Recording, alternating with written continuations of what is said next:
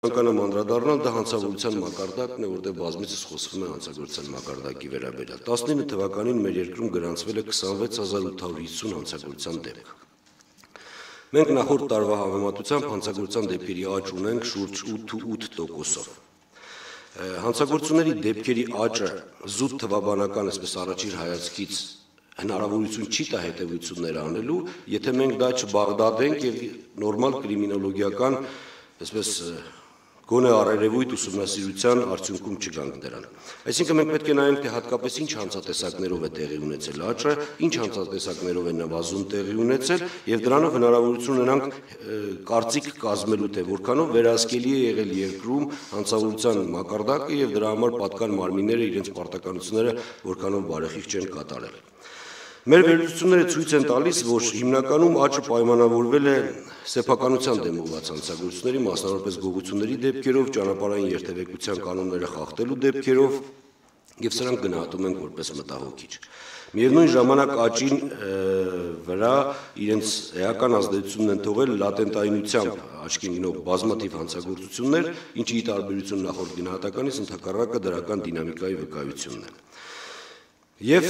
մեր հետևությունները այս առումով հետևյալն են, որ լատենտային հանցագործությունների պարագայում դրանց աճը ըստ էության բացարձակապես բոլոր երկրներում սա աքսիոմա է, դիտարկվում է որպես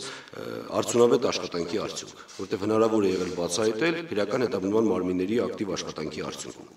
Այս տիրույթում ես շարունակում եմ շատ կարևորել ու շատ բարձր գնահատել մեր հանրության հետ իրավապահ մարմինների համագործակցության մակարդակի աճող տեմպերը, մի թիվ ուղղակի հրապարակեմ, եթե 2018 թվականին ոստիկանության ստորաբաժանումներ ստացվել է 203500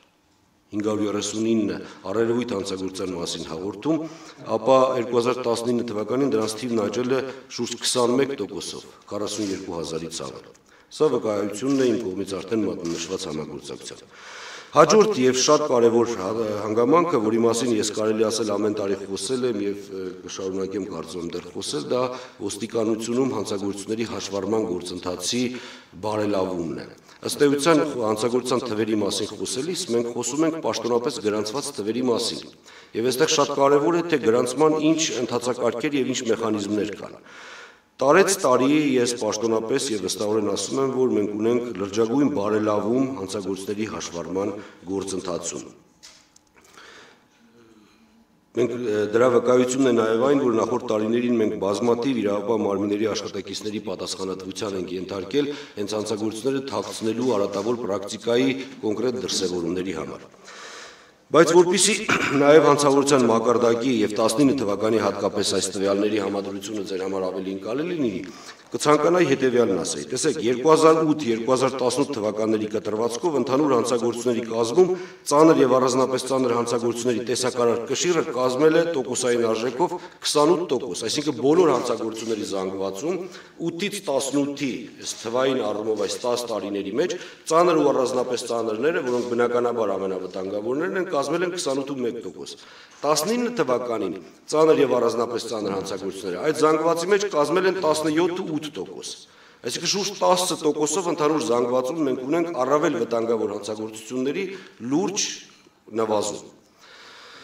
Ընդ որում 2019 թվականին հանցագործությունների վիճակագրությունը փաստում է, որ հանրապետությունում 100.000 բնակչին բաժին է հասնում 906 դեպք, այս ցուցանիշով մեր երկիրը դրականորեն տարբերվում է նա այդ թվում նաև ԱՊՀ երկրներից։ Օրինակ Էստոնիայում այդ ցուցանիշը 2045 է, Ռուսաստանի Դաշնությունում 1379, Ղազախստանում 1305, Բելարուսում 938։ Այստեղ կցանկանայի նաև մի շատ կարևոր ցուցիչ հրապարակել 2020 թվականի փետրվարի 17-ին համաշխարհային բնակչության գնահատում միջազգային անկախ կազմակերպության կայքում հրապարակված տվյալների համաձայն հանցավորության մակարդակի 20 2020 թվականի ցուցիչով, որը հաշվարկվում է հանցագործության ցածր մակարդակից դեպի բարձր մակարդակ 0-ից 100 ինդեքսով, Հայաստանը զբաղեցնում է 7-րդ տեղը 20.78 ինդեքսով։ Առաջ անցնելով ԱՊՀ եւ եվրոպական գրեթե բոլոր երկրներից։ Համեմատության համար նշենք, որ օրինակ Սինգապուրը զբաղեցնում է 20-րդ տեղը, 27.7 ինդեքսով, Գերմանիան 36-րդ տեղը 34.6 ինդեքսով, Միացյալ Նահանգները 73-րդ տեղը 46.73 ինդեքսով։ Եվ այլն, հաղորդման մեջ ավելի շատ թվային տվյալներ են բերված։ Միևնույն ժամանակ կցանկանամ իրազեկել, որ 19 թվականին նաև թվաբանական առումով ունեցել են կանցագործների բացահայտման շուրջ 4%-ով նվազում։ Բայց այս բացահայտման մասին նաև այս ցուցանիշների մասին խոսելիս ես կցանկանամ ցույց տալ նաև դրա պատասխանատու սուբյեկտների աշխատանքի կարևորությունը, որ հատկապես սպանությունների, սպանության փորձերի, դիտավորության առողջությանը վնաս պատճառելու, այդ թվում ծանր վնաս պատճառելու դեպքերով ընդհակառակը ունենք հանցագործությունների բացահայտման լուրջ աճ, բացահայտման ցուցանիշների։ Եթե երկու օրինակ 18-19 թվականների ընթացքում հանցագործությունների տոկոսային առումով համադրությամբ պատկերն այնպեսին է, որ 19 թվականին նվազել է, ապա հանցագործությունների ընդհանուր թվի աճի պայմաններում, եթե մենք արդեն զուտ թվաբանական առումով նայենք, 19 թվականին բացահայտվել է քանակական առումով ավելի շատ հանցագործություն։ 19 թվականին 18 թվականի համեմատությամբ 848-ով ավելի հանցագործություն է բացահայտվել։ Այսինքն 19-ին բացահայտվել է 17701, 18-ին 16853, բայց պայմանավորված անցագործությունների ընդհանուր քանակի տարբերությամբ տոկոսային ցուցիչը այլ տպավորություն է ստեղծում։ Բնականաբար հանցագործությունների բացահայտման ցուցանիշների կամ դրա վրա ազդեցության ամենատարբեր գործոնները մեր կողմից մշտապես ուսումնասիրության են ենթարկվում, դրանց եւ օբյեկտիվ եւ սուբյեկտիվ պատճառները մշտապես վերանելու ուղղությամբ աշխատանք է կատարվում, հատկապես սուբյեկտիվ պատճառների հետ կապված մենք ամենօրյա աշխատանք ենք իրականացնում, սկսած ամբարախիղճ մեր գործընկերների նկատմամբ պատասխանատվության մեխանիզմներ գործադրելուց, ընդհանուր մինչև մասնագիտական ունակությունների կարողացությունների բարձրացում, տեխնիկական հնարավորությունների բարձրացում Բնականաբար նաև սոցիալական խնդիրների մեր գործընկերների սոցիալական գոժակի իրավիճակի բարելավման ուղղությամբ։ Եվ հանցավորության թեման ավարտեմ սպանությունների մասին խոսելով 2018 թվականին մեր մոտ կհիշեք արձանագրվել էր վերջին 30 տարվա ընթացքում ամենացածր ցուցանիշը սպանության։ Սկսած 80 թվականից 35 դեպք էր արձանագրվել 2019-ին արձանագրվել է 47 դեպք, այսինքն 12 դեպքով ավելի։ Բայց երբ որ մենք ժամանակա նայում ենք